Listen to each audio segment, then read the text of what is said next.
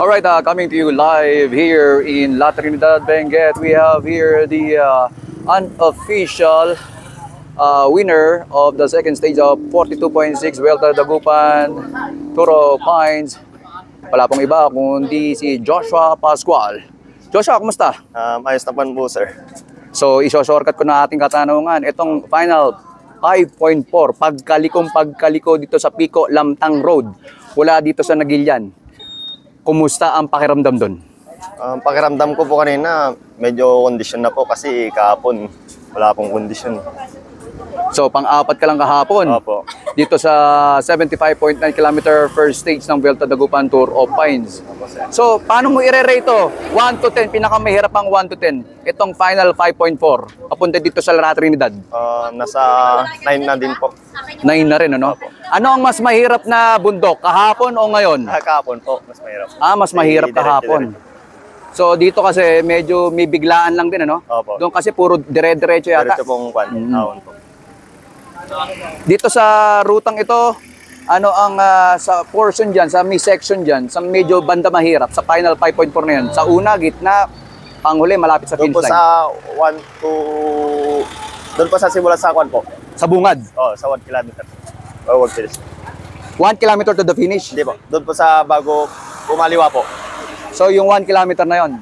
1 kilometer after that, yun yung mahirap. Ayun na po. Tapos nasa 4 to 4 hanggang finish line na po. Yun na po yung kwan. Medyo may lusong-lusong na po. So ngayon ay uh, pinamangha mo na naman ang uh, cycling fans, most specifically itong mga newbies and yung mga sumusubaybay sa iyo, Joshua Pascual, na talagang isa ang uh, hard nuts pagdating dito, hard nut pagdating dito sa um, climbing ano. Kumbaga ikaw ang uh, will be most probably uh, will be the next uh, king of the mountain ano. At uh, hindi naman natin na kumbaga talagang dinidiscount yan ha.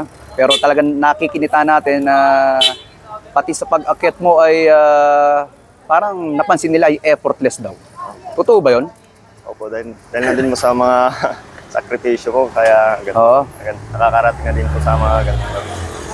Etong lugar mo sa etong lugar mo sa Nueva Vizcaya. Hindi hindi naman pahuli ito, itong Baguio City no, pagdating doon sa ma- sa mga bigat. Opo, Parang par- parang normal na rin din ng itong akyatan na to no. Opo. Para kay Joshua Pascual tama ba? Same na rin po dun sa amin kasi marami din po ngaon. Ang pag nagkaiba lang po kasi di ko din po kabisado din dito kung saan po yung mga matatarik. Ganun po. Kasi Do Entertainment is promoting sports tourism. So ito, pinopromote nga natin ito La Trinidad kasi nandito ang ah, ah, mga maraming mga prutas at vegetables including yung ah, strawberry. Ano?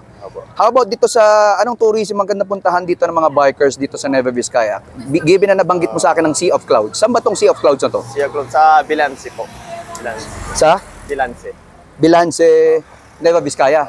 Anong municipality yon? Ayun na po, Bilance. Ah, Bilance. Okay. Dupax na tao, Dupax pala do. So once again, here on The Entertainment YouTube channel, the unofficial lap winner, second stage ng Vuelta Dagupan Toro Pines.